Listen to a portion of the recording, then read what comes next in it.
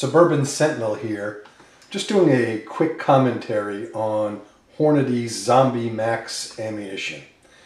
Just about everybody in the gun community has at least heard of Hornady Zombie Max. Essentially, this is just uh, Hornady's critical defense ammunition with some cosmetic changes. Now, I understand that this is just a tongue-in-cheek marketing campaign and it's certainly not serious.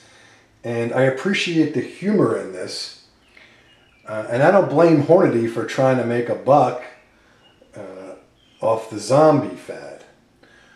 However, in my opinion, this Zombie Max ammunition is a very bad idea for all of us.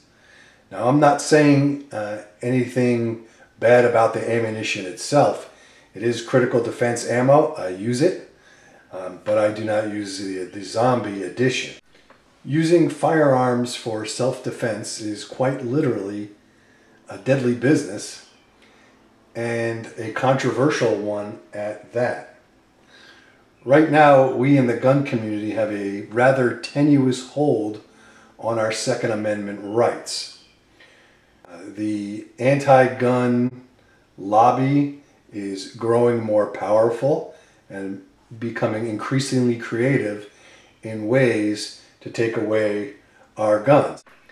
Making light of guns and ammunition is just plain bad policy, even when done in jest. I'm sure that the anti-gun lobby will use Zombie Max and any other similar product for its own purposes in showing or at least implying that gun owners are just a bunch of bloodthirsty lunatics who can't tell the difference between reality and fantasy. In addition, I would not carry Zombie Max in any of my defensive weapons. God forbid you actually have to shoot someone in self-defense and you're carrying Zombie Max.